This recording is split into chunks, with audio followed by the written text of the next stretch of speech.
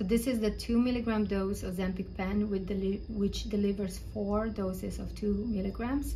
We can use this to make smaller doses of 0.5 milligrams by counting 14 dashes on the vertical dial. One, two, three, four, five, six, seven, eight, nine, 10, 11, 12, 13, 14. You would take a pen, mark the dose.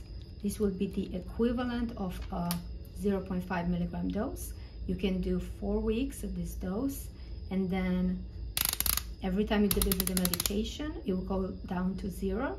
To use this pen, you have to attach the needle, which is sealed with a paper. You remove the seal from the needle you screw the needle in to the pen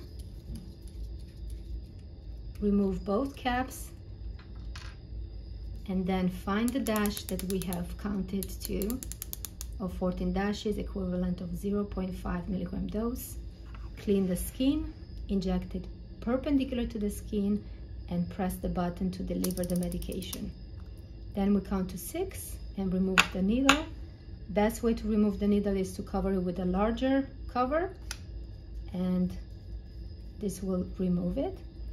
When we need to go to the next dose, we will find the 14 dash, which is the equivalent of 0.5 and add another 14 dashes.